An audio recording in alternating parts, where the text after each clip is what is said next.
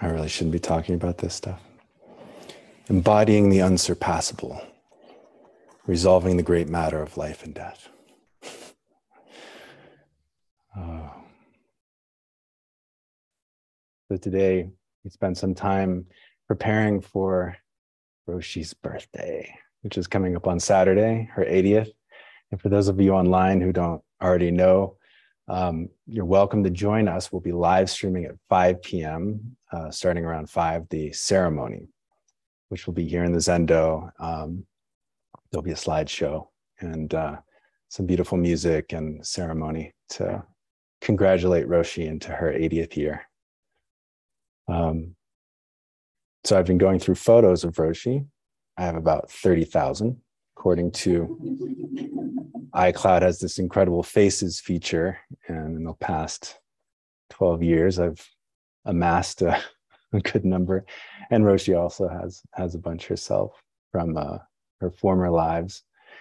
And um, just in looking through these photos and seeing the themes, it's almost like I, I really considered just playing the slideshow for for an hour and just uh, that would probably be a good enough dharma talk a, a better dharma talk than i'll give but i mean we're sitting here in uh, what maybe you could say is roshi's great matter roshi's kind of legacy and mind and it has the effects of her time not just in the past 30 years, but the past 80 years. We've got the Vajrayana influence, green Tara on my left, and Avalokiteshvara, thousand armed, on my right, both expressions of upaya, skillful means, in a way, um, and wisdom. And uh, the chant we just did, I believe, is from Thich Nhat Hanh, and as well as some 20%, maybe 30% of the chants we do is from the, the lineage of Thich Nhat Hanh. And of course, we have Bernie Glassman um, all around us as well. And Sensei Kaz and Linda, our, our dear teachers, are part of this community now. And I just feel so grateful to be, uh, to have the privilege of sitting here with all of you, to be able to, in this beautiful space, with our technology, you know, all of you online, and Roshi's just ability to or knack for just thinking outside the box and like, oh, let's take it to the cloud, you know, early on. And um, so we'll have some some clouds gathering, hopefully not the physical kind on Saturday, or our outdoor celebrations might be interesting. So thank you, Roshi, for your many years and for Upaya, um, on behalf of all of us. And in reflecting on the word upaya, skillful means, my dad actually asked me last night. He said, "Well, what did what does it mean to you guys?" Because I'm looking at the Wikipedia article, and there's it's like really long, and it can mean so many things. I said, "That's a great question." Um, you know, we take it to mean, I mean, basically, it's our compassionate action, engaged Buddhism. And he said, "Well, that's that's skillful, but what about expediency?" I thought, interesting. I didn't really I had I thought, oh, skillful, expedient, same thing. But actually, they're very different, right? Expedient has the sense of not really true, right? And so, or it's you're doing it for the sake of another end.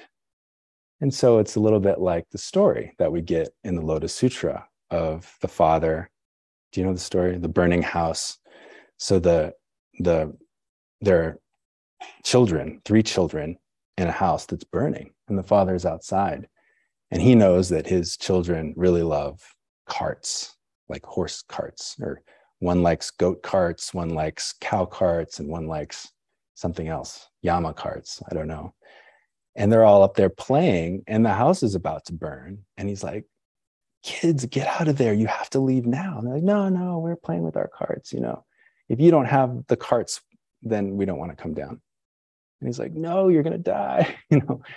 Uh, and so he can't get them to come out with the truth, which is that the house is burning. And so he says, okay, they're out here, kids. There's a goat cart just for you, Jimmy. And there's a Yama cart for you, Billy. You know, and so he lies to them and gets them to come out because the house is burning, and if they didn't come out, they would die. But he gets them to come out, and of course, living is the better cart. And so the Buddha says in the Lotus Sutra, he didn't really lie. He used expedient means to get the children out. And so that sense of upaya is not really, I would say that the engaged Buddhism, the kind of the working for the ending of suffering in the world, alleviating suffering, that's more like the skillful means. We we do our best to learn how to sit and be present with what's arising, to cultivate presence um, and openness so that we can be with the suffering of the world, that we can be present in whatever arises, whatever action comes out of that, bearing witness and not knowing the three tenets. That is our compassionate action, our skillful action. The expediency perhaps is more like the Dharma talks and the, the kind of the teachings on that which can't really be put into words. And so as soon as I start talking or anybody starts talking about the Dharma, what you really are, what is the true nature of reality, what is the great matter of life and death, and how do you resolve it? That can't, nobody can tell you that right? You have to figure it out for yourself. So then what do you do?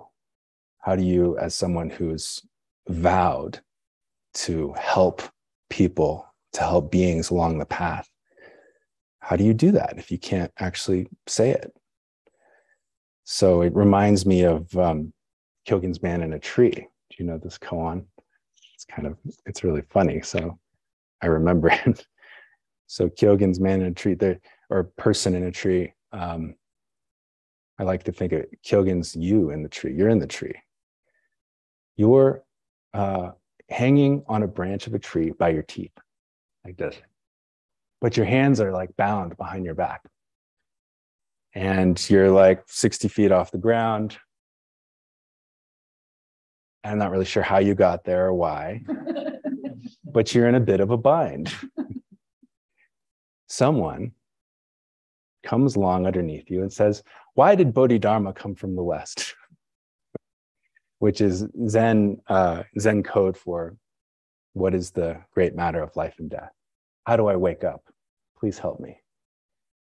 If you don't open your mouth, if you don't say anything, you evade your duty as a bodhisattva.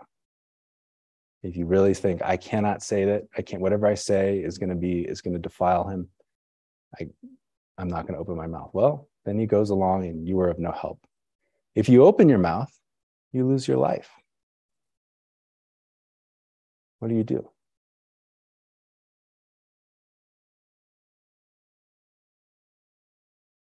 Anything?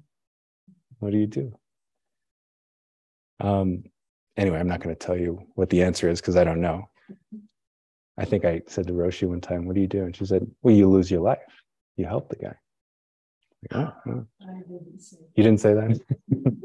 okay. She didn't say that. Um, what do you do? so, this is the Dharma, right? If we open our mouths, we necessarily do not speak the whole truth. And if we don't say anything, if we don't do anything, if we don't practice it and help to help others along the path, then we evade our duty. And so expediency is the, the other meaning of skillful means. So at upaya, the, the, the word that means skillful means, that I, I think we try to uh, do both.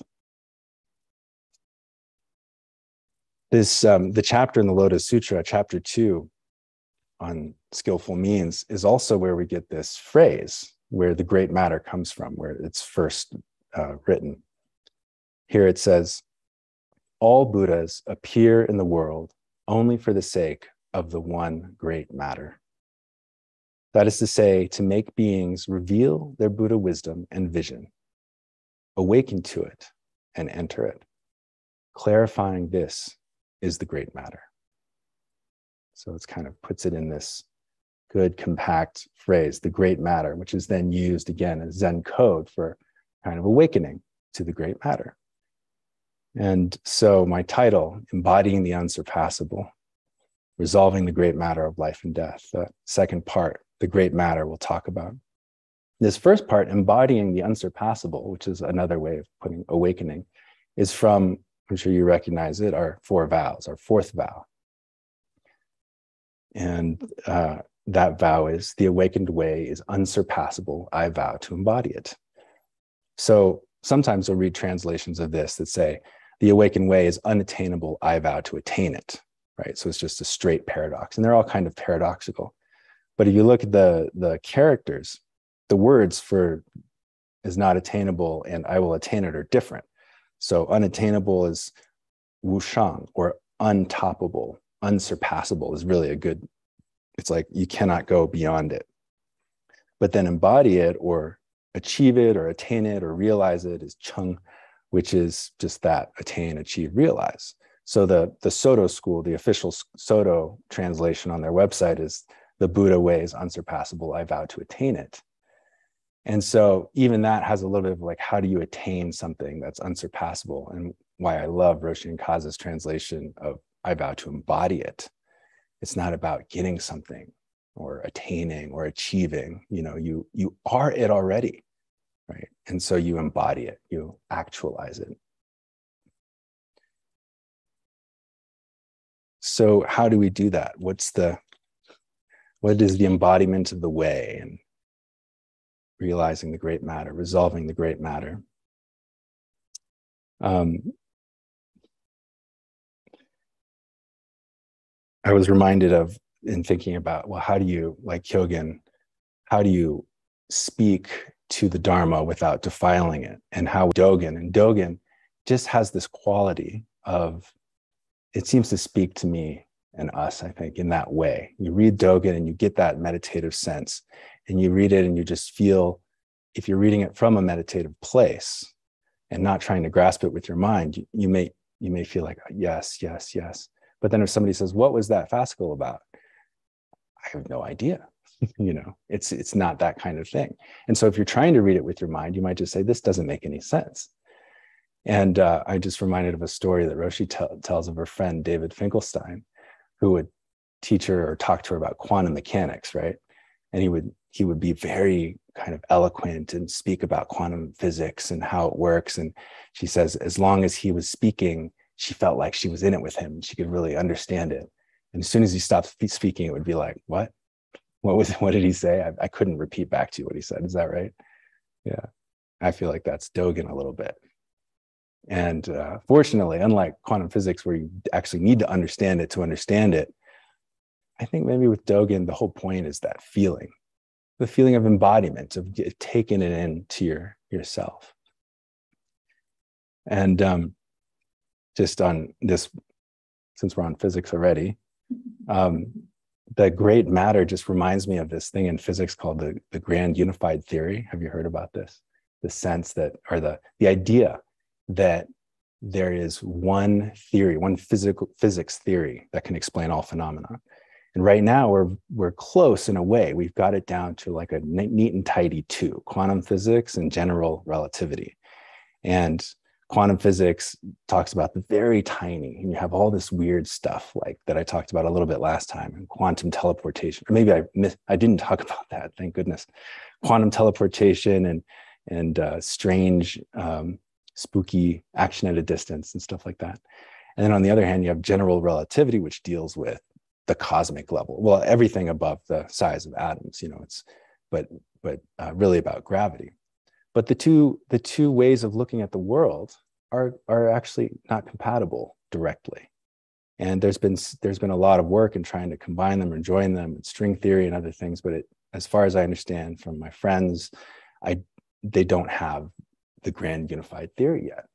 And so there are certain questions which are, there aren't a lot of them that deal with very tiny subatomic things that weigh a lot that we have no idea what happens. So the two things that I, I'm really curious about are black holes and the beginning of the universe, the Big Bang.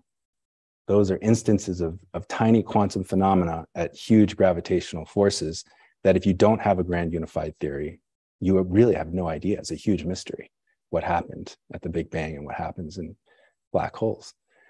And so to me, it's a little bit like the great matter of life and death. It's like this one thing.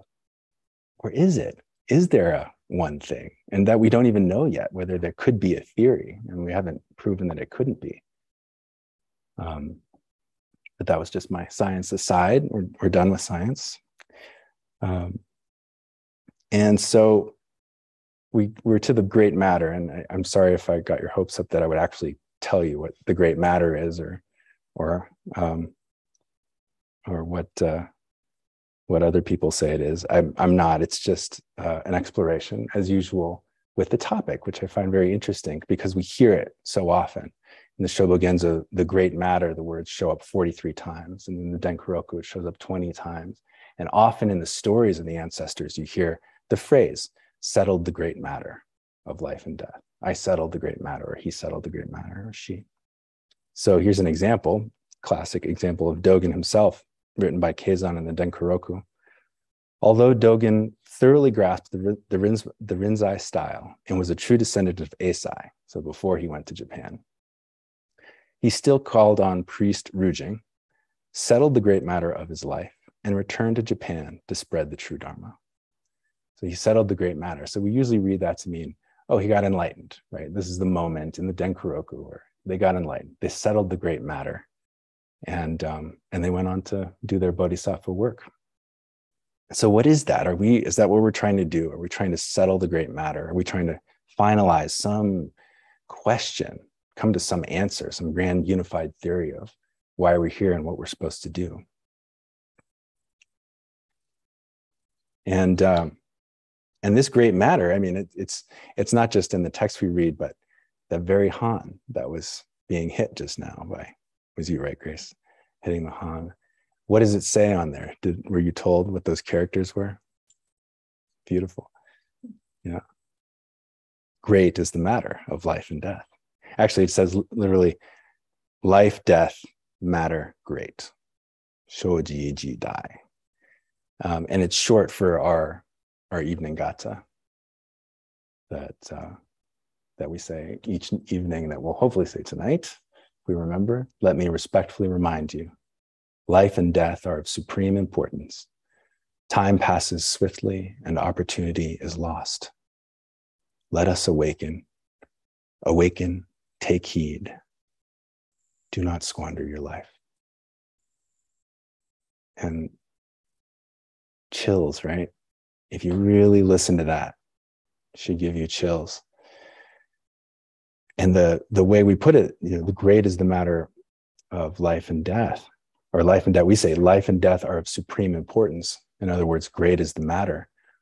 Uh, and often we kind of gloss that as which is also true i think that the the matter of life and death itself being born and if you spend any time with an, a baby there's skyla back there you know it's this miraculous thing how we were all like that we were all this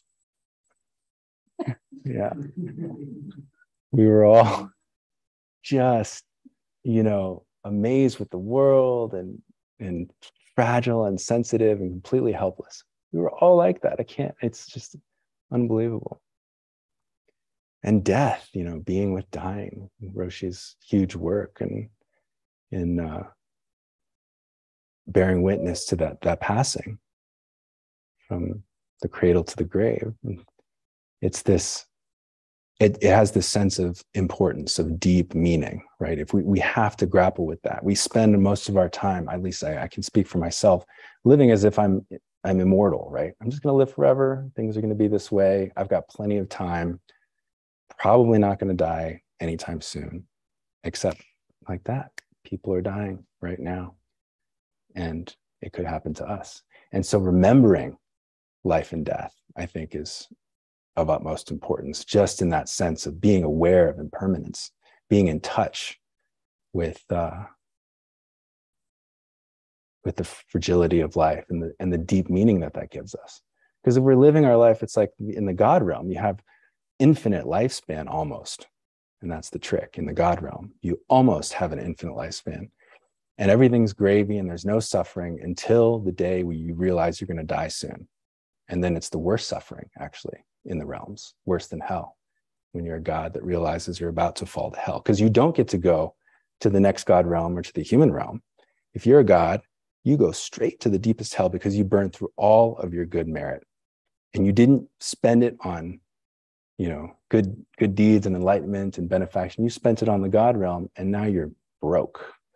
So you get to spend another eternity in hell before you can burn off enough karma to hopefully make it back to the human realm, which is supposedly the only realm you can really wake up. So that's a little Buddhist cosmology, but it's just that, yeah, like don't act like you're a god, right? Your time is short. And so that that reminder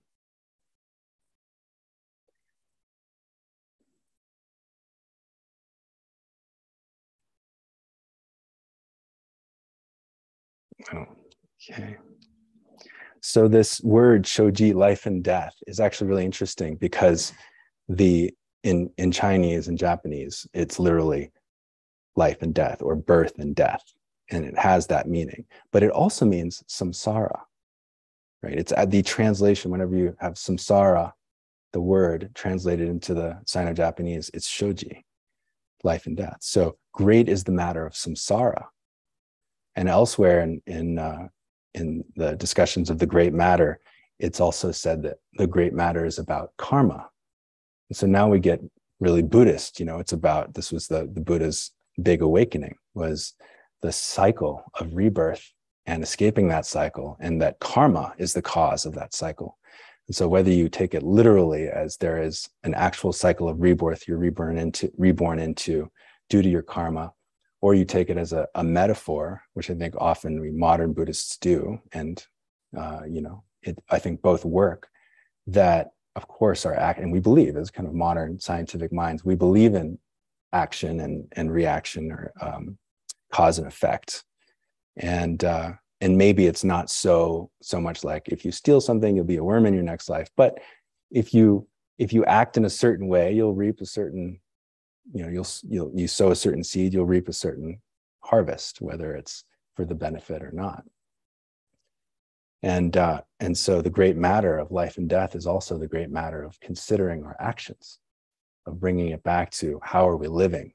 Are we living according to our conditioning and our our kind of uh, our just how, what's coming to us? Or are we living by some higher calling something that we consider to be our our better way of acting, our vow, to put it briefly. Are we living by vow, which is often what we say, what we're doing here?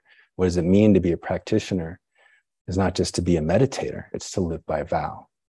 And that preceptual life is, is deeply integrated into what we do. And it's not just like, don't kill, don't steal. Don't. It's like, how are you acting in every moment affects not just you, but everyone around you, and ultimately the whole world, because we're all interconnected. And so that teaching of, of karma um, is, I think, the great matter. And um, just to have the, well, it's not the final word, but I'm just so grateful and, and Linda, I'm so glad you're here and, and Kaz to, uh, I'm going to quote him at length uh, from Dogen's 93rd fascicle on birth and death. And it's a very short fascicle, but it just has the pith about this about exactly what I don't propose to tell you, but maybe Dogen can help speak to this. How do you resolve that matter? How do you actualize? How do you embody the great matter in yourself? So Dogen says, those who want to become free from birth and death should understand the meaning of these words. If you search for a Buddha outside of birth and death, it will be like trying to go south with your spear heading toward the north. It will be like searching for the Big Dipper while looking towards the Southern Cross. Just, you will cause yourself to remain all the more in birth and death and miss the way of liberation. Yeah, thank you. And so that, you know, just right off the bat, you if you search for the Buddha outside of birth and death, outside of samsara, right? We're always searching for nirvana and Buddha that is other than our kind of afflicted states and and samsara. Like we're trying to get away. But he's saying, no, this is it's actually right within it, right? Just understand that birth and death is itself nirvana. There is nothing such as birth and death to be avoided. There's nothing such as nirvana to be sought. excuse me, only when you realize this are you free from birth and death. So the realization of nirvana, not saying it doesn't exist, but the realization is exactly the realization that nirvana and samsara are, are not separate. Right? And of course, this is a harder thing to hear when you're really suffering, right? And it's not a teaching, I think, that you bring to people who are suffering, like, oh, your suffering's actually nirvana. And you should just realize you're a Buddha now. You know? And that's not the point, right? For for bearing witness to suffering, for meeting suffering, we practice compassionate action, skillful means. We don't practice expedient means um, in that way. Uh, with other people or with ourselves, you know. And so it's really finding the right, what's the right practice now. So we're sitting on our cushion and we're suffering, and maybe you just need to breathe and loving kindness into yourself and and breathe loving kindness into the world and just you know try not to suffer so much sometimes that's the right thing to do and sometimes you feel okay and you're a little bored and your mind's wandering it's like all right get with the program great is the matter of life and death why am i here what am I doing? Who am I anyway? You know, and you really focus in. What is this thing I'm going after? This great matter, nirvana, this is it outside of me? They say it's right here, right now. This is the part that just kills me, right? It's like, it's right there. Why isn't it obvious? It's obvious. Why, why don't I get it then? Shut up. It's like, just, just look. And that's what we keep hearing. It's like all you have to do is look. This birth and death is the life of a Buddha. Samsara is the life of Buddhas. If you try to exclude it, you will lose the life of a Buddha. If you cling to it, trying to remain in it, you will also lose the life of a Buddha. And remain, what remains will be the mere form of a Buddha. So it's not saying, oh everything you know this is the kind of the the abs being drunk on the absolute oh everything's already the absolute. Everything's nirvana. Therefore i don't have to do anything. I'm going to have my beer and watch my game and you know whatever the whatever your vice might be and play video games and um I, don't I whenever i say that stuff it's like i'm not judging anyone okay? It's all good. Might be your skillful means. Um but just kind of flippantly saying, well, samsara is nirvana, so there's nothing to do. Well, that's just not helpful, right? Maybe it's true in a kind of absolute expedient sense, but if it doesn't help you be free of suffering, then it's really not true. It's not, it's not actually expedient. And so he says, you don't cling to it, right? You don't grasp after it, uh, after nirvana, and you don't cling to samsara. There's some kind of letting go. And I think this is just it, it's such a good reminder for myself, at least, to always come back to, well, this is what we're doing on the cushion. Whatever we're saying up here, whatever Dogen's talking about, it's got to be able to come back to the cushion. And so, how do you let go without letting go of your intention, right? How do you cultivate and hold strongly to the intention, practice like your hair is on fire, right? On the one hand, and yet let go and it's like this fine and when you're when you're kind of in the flow of it you can feel that you're like i'm just letting go but i'm i'm totally on i'm completely relaxed and i'm totally present and aware and it's bright.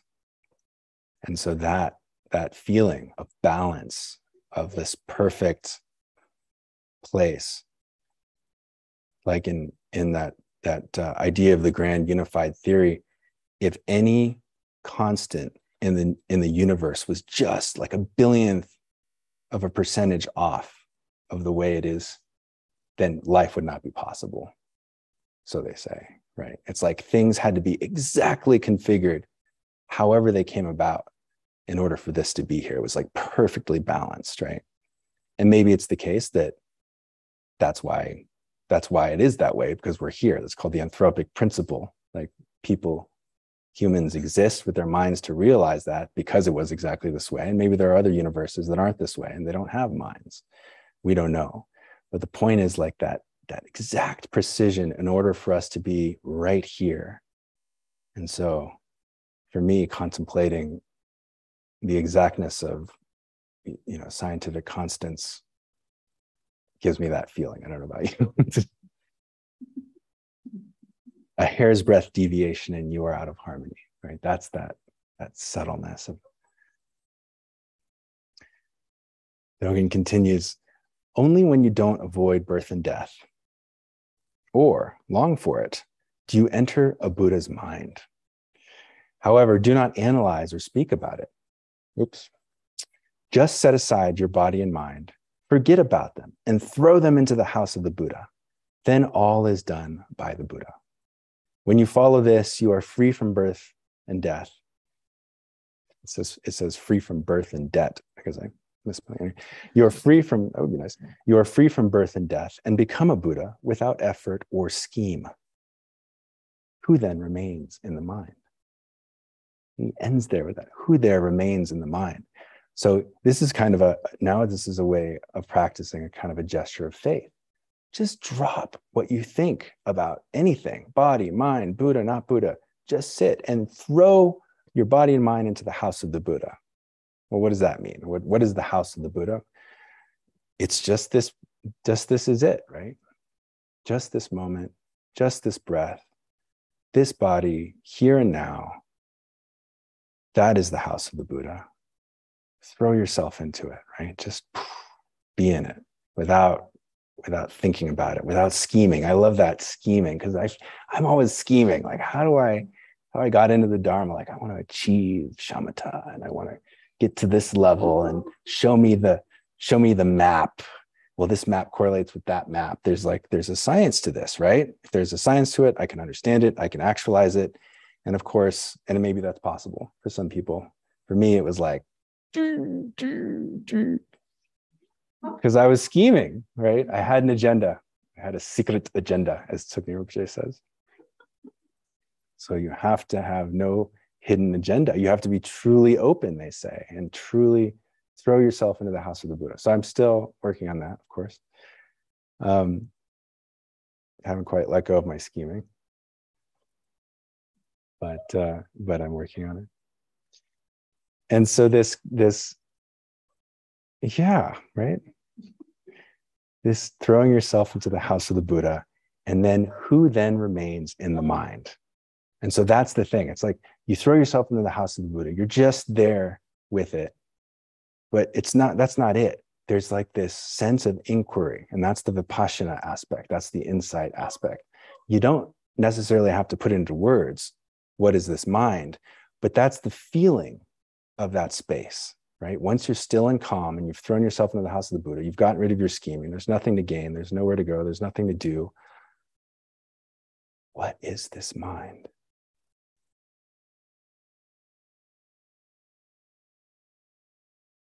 And that, that kind of leaning into what is this mind? What is reality? The basis of koan practice, I think the basis of most Vipassana practices, whatever your practice is, it's like let it be alive, right? As as uh, Suzuki Roshi said, I think. What is this? And so Dogen ends this wonderful fascicle on birth and death. So and each each paragraph is kind of its own teaching, which is so wonderful. You can't if you read it as like an essay on how to get enlightened, it's that's not quite it. It's like here's here's something to practice with, here's something to practice with, here's something to practice with. So we just had throw yourself into the house of the Buddha. And now here's like just the classic every day from Shakyamuni Buddha himself in the Dhammapada, which I've quoted before. But there is a simple way to become a Buddha when you refrain from unwholesome actions, are not attached to birth and death, and are compassionate toward all beings, respectful to your seniors, kind to your juniors, not excluding or desiring anything. With no thoughts or worries, you will be called a Buddha. Seek nothing else.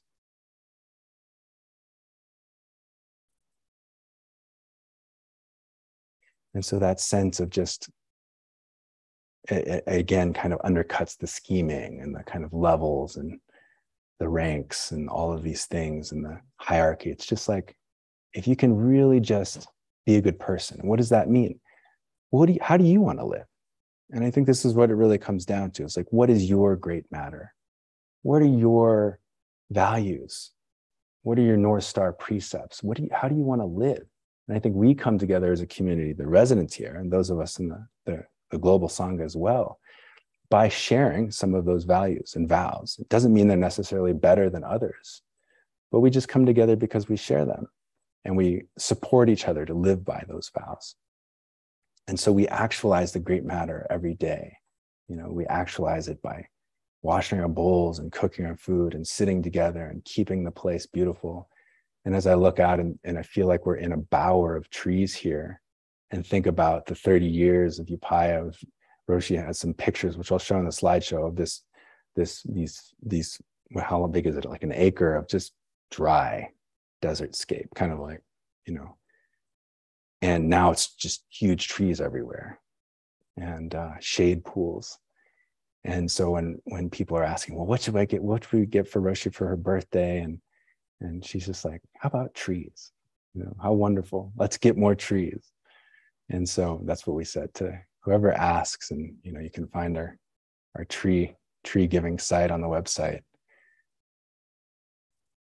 Just being upright, living by vow, cultivating shade pools of goodness. That's it. Maybe that's it. You don't have to strive for something. And and so for each of us, it's each of these paragraphs from birth and death, and perhaps each of the paragraphs in Dogen's whole Shobogenzo are little bits that we can take and say, how does this speak to me? And how does it speak to me? And how can I practice with it? And then when we hear that evening gatha, do not squander your life. You'll know what to do. You'll know how to practice, you know. And if you don't know, you can ask Roshi.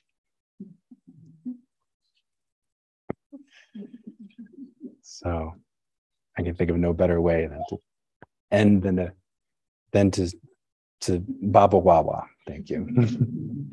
and so we'll chant the four vows and have the evening gatha. Thank you.